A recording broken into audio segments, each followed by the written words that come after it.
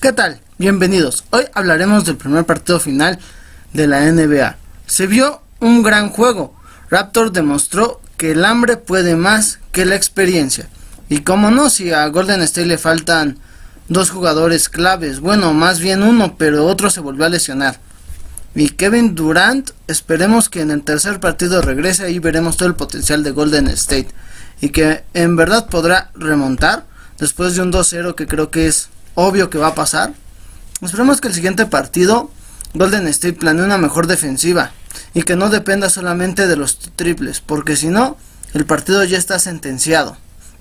Y también esperemos que Raptors siga con ese paso abrumador que lo está llevando a ser el que detenga a esta dinastía. Porque aclarando, acabando este periodo, Kevin Durant entra como agente libre. Y no solamente eso, también este, la escolta de, de Golden State. Gracias por habernos escuchado. Que tengas linda tarde, noche o día. Like y comparte.